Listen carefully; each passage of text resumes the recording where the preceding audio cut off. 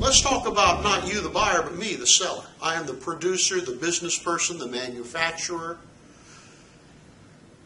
What do I do if I'm producing peanut butter and I see the price of peanut butter starting to rise?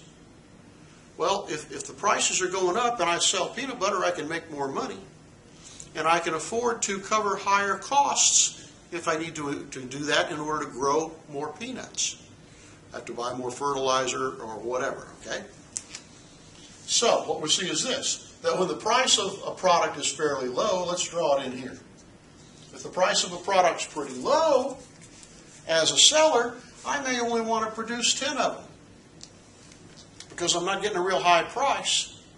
But as the price rises, what happens? If the price goes to $5, I might look around and say, wow, if I get $5 a piece for those things, I could afford to produce more, grow more, transport more. And so maybe in that case, I will produce, I don't know, picking numbers again, 33 units per week instead of 10.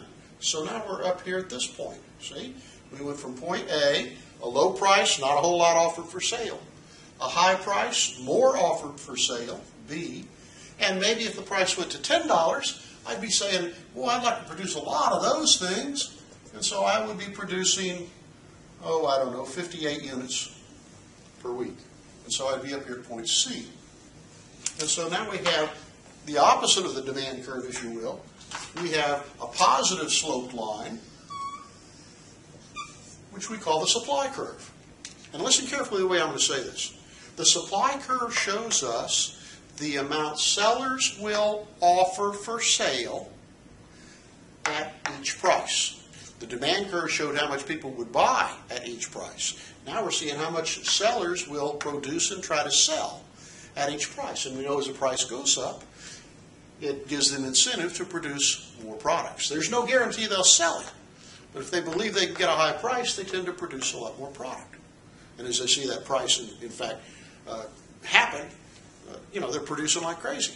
Uh, think about this just for a minute. If gasoline, which uh, at the time I'm making this video, if gasoline is $3.80 a gallon, and then gasoline goes to $7 a gallon in the United States, our usual reaction is as buyers, oh my goodness, that's terrible. But as sellers, what would you be thinking? Well, part of your thinking is people need it pretty bad, they're going to keep buying it. And if I could start selling it at a higher and higher price, would I be willing to go out and explore and find more oil fields and, and build more refineries and produce more gas? Well, sure, it's more profitable. So, high prices, a good thing or a bad thing? Well, it depends on where you are. It depends on whether you're a buyer or a seller. Now, when we put all this together, by the way, and we move along the supply curve from one point to another point on the supply curve, that is not a change in supply. That's a change in the quantity supplied, the quantity offered for sale.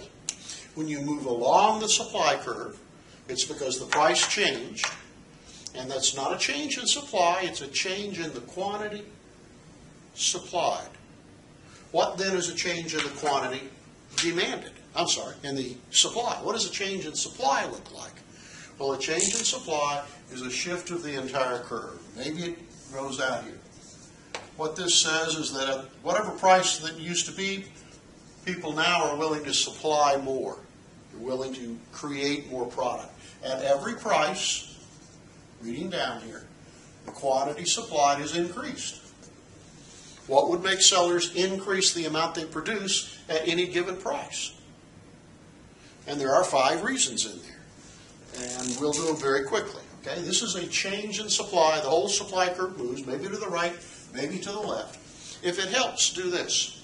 When you see the word supply, just append right at the end of it the word curve. Okay? Supply changed, supply curve changed. The whole curve moved. Okay? If the whole curve didn't move, just the price changed, you moved along the curve, that's a change in quantity supplied. You can do that with demand too, okay? When you see the word demand, if you're not sure if the curve is, is moving, put the word curve after the word demand. There was a change in the demand for gold. There was a change in the demand curve for gold. The whole curve shifted to the right or to the left, depending. So, what kind of things can make the supply curve shift? One, number of sellers. Two, sellers' expectations.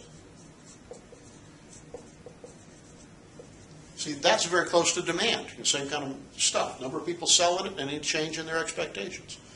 Well, what else? Three, the cost of production.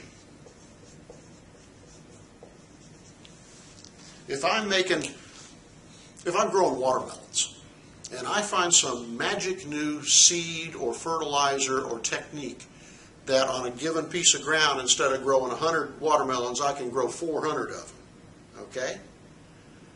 What am I going to do? Man, I'm going to, I'm to grow a lot more watermelons and try to sell them. Okay? If I'm producing, uh, I don't know, skateboards, and I find this new wheel to put on it, and the wheel, instead of costing me $15, costs me $4.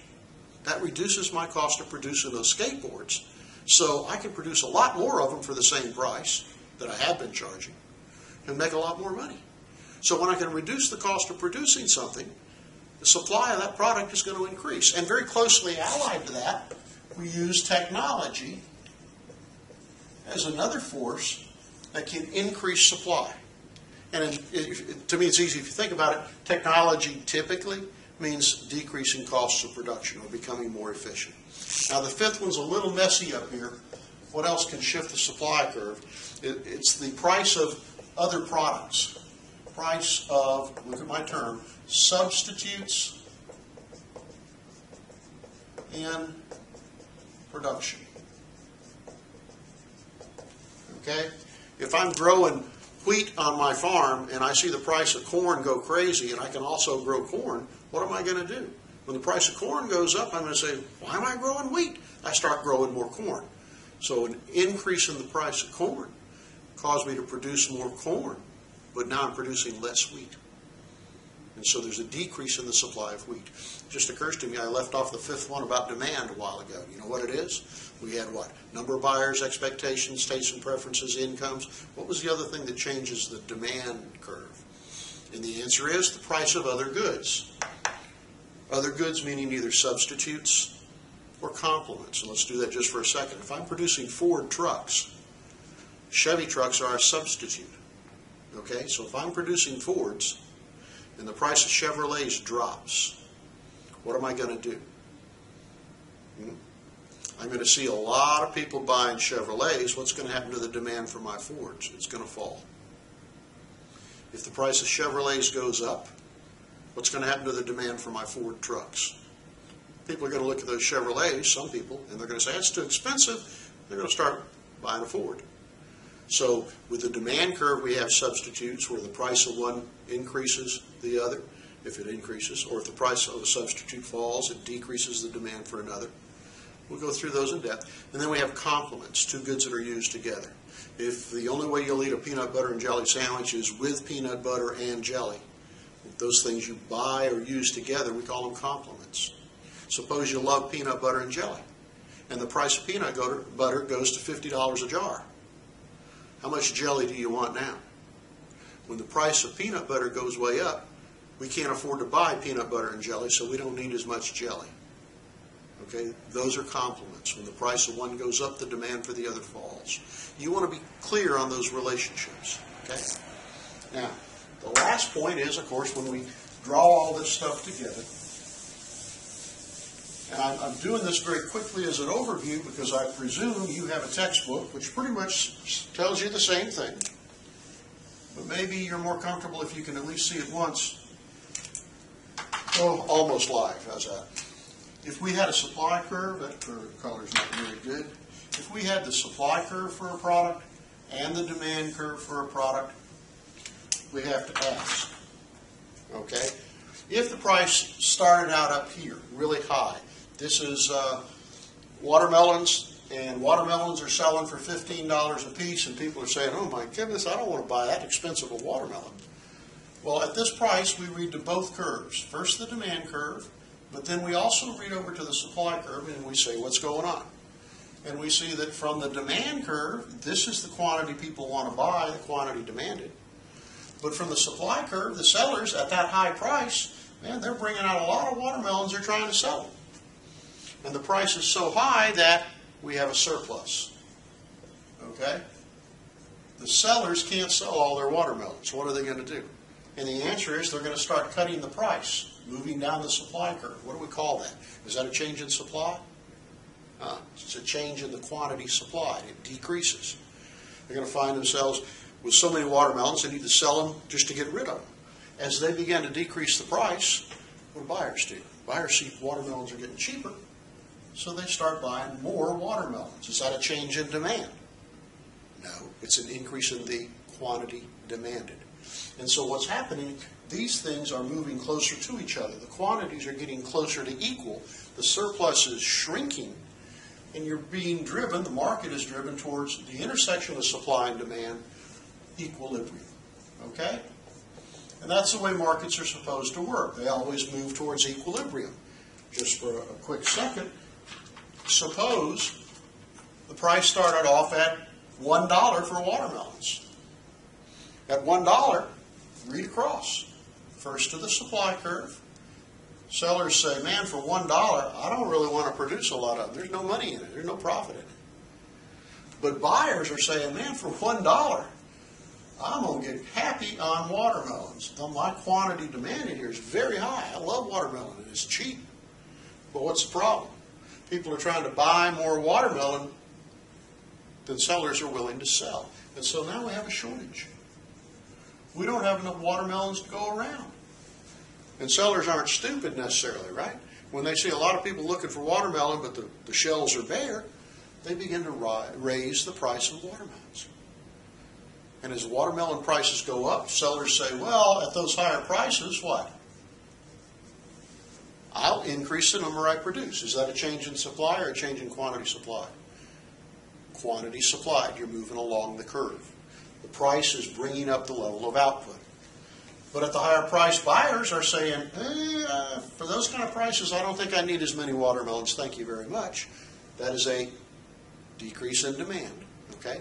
And again, they're moving towards each other. The difference between the amount purchased and, and available for sale is decreasing, and they're moving towards equilibrium. And so we say in markets, the markets always move towards equilibrium. There's no direction by government here, right? Nobody's telling the market what to do. This is individual buyers and sellers trying to get what they want. And so the market moves towards an equilibrium, and at equilibrium, what's going on? At equilibrium, the amount people want to buy, the quantity demanded, exactly equals the quantity supplied, and bingo, you're done. Until what? Until one of the curves shifts. The supply curve increases, the, or sorry, the demand curve increases, or the supply curve decreases, and your equilibrium goes to a new level. And when that happens, you wind up, well, let's see if we can do it here real quick. If the demand curve went up here, here's your new equilibrium. But here's where you're operating. If the market was here at equilibrium, we say, uh-oh, at the old price, we now have a shortage because people want to buy this more, it's become more popular. What's going to happen with that shortage? Well, the same thing that happens with any shortage. Sellers are going to see the opportunity to raise price and therefore produce more. Buyers seeing the price rise are going to say, I don't need quite as many. They're going to decrease their quantity demanded.